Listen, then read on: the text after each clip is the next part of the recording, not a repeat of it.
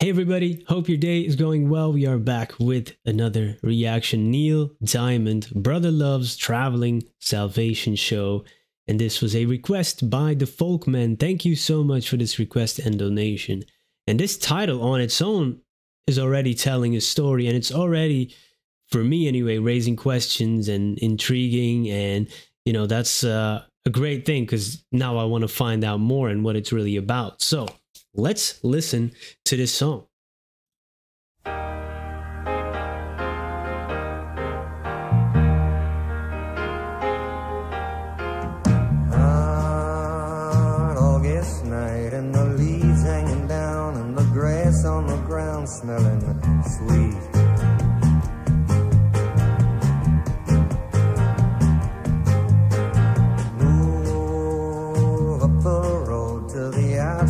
Town and the sound of that good gospel beat.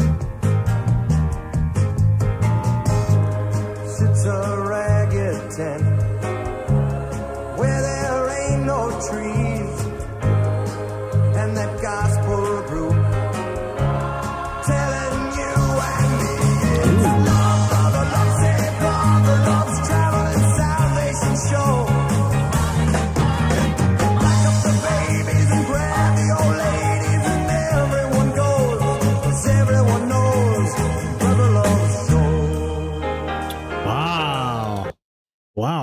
That is very good storytelling again, you know.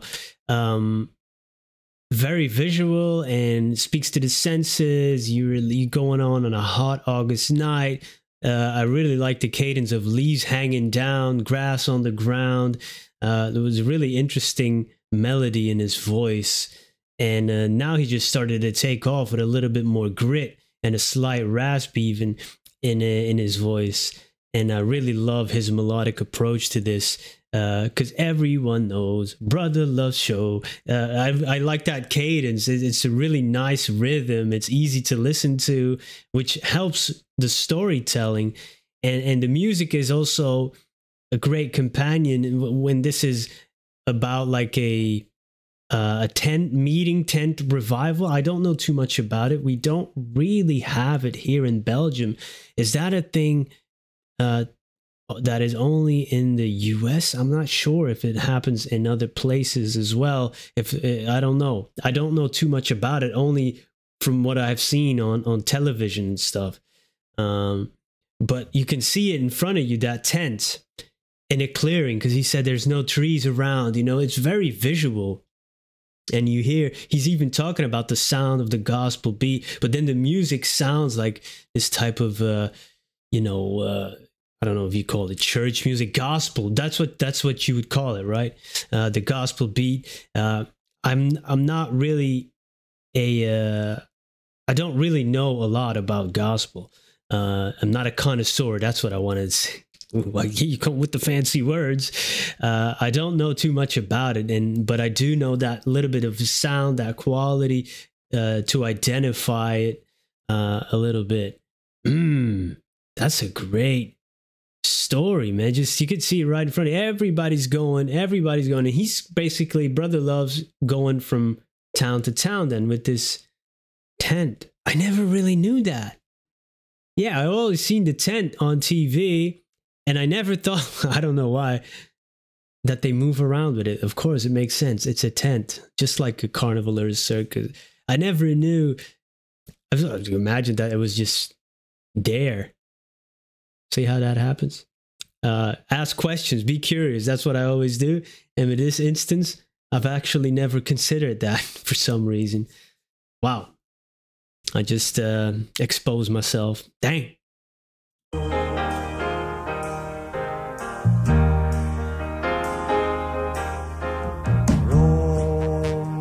Suddenly Oh. still, and when you'd almost bet you could hear yourself sweat, he walks in.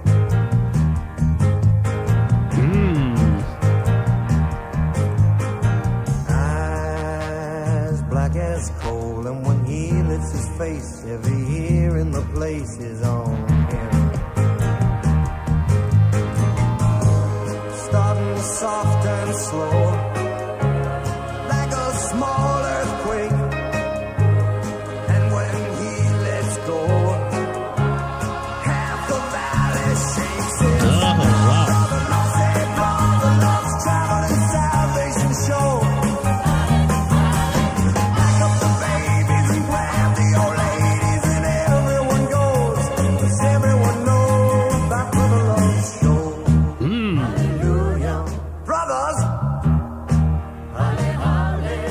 said, brothers. Hallelujah. Now you got yourself two good hands. Hallelujah. Now when your brother is troubled, you gotta reach out your one hand for him. Cause that's what it's there for. Hallelujah. When your heart is troubled, you gotta reach out your other hand. Reach it out to the man up there. Cause that's what he's there for. Take nice. my hand in yours. Walk with me this day.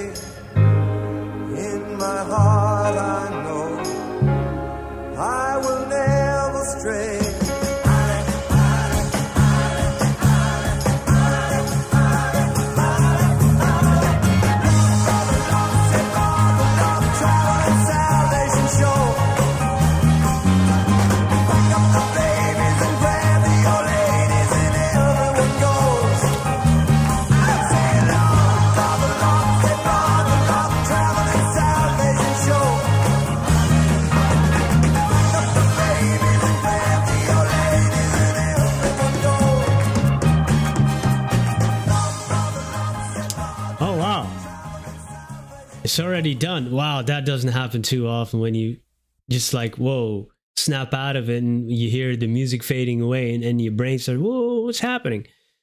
Uh, that's a good thing. That's a good sign. That means I was totally immersed into it.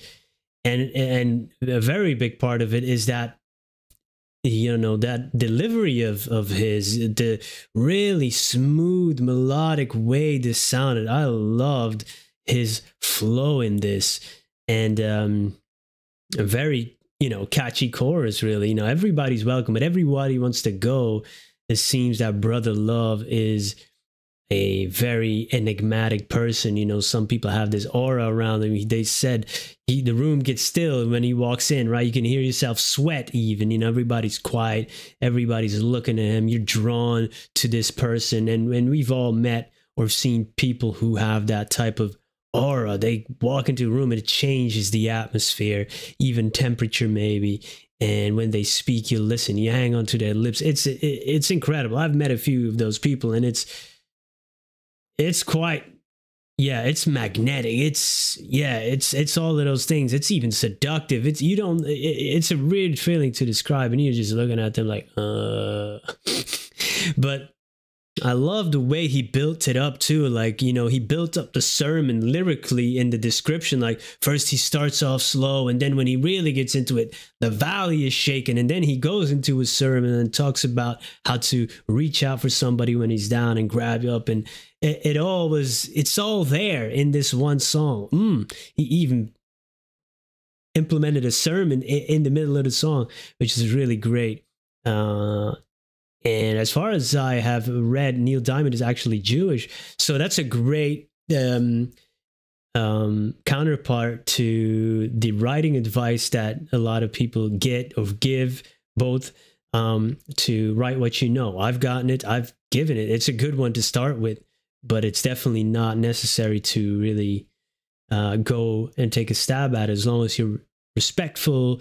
You do a little bit of research and you feel it and you go at it and uh, I think that's great, in my honest opinion. So yeah, that was really well, well written, and then combined with the music and uh, the vocals, man, cool, cool song.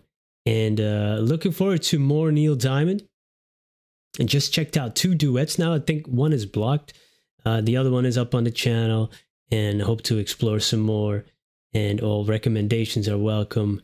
Thank you so much for this request. Thank you for being here, spending some time with me, uh, and hope to see you in the next one. Goodbye.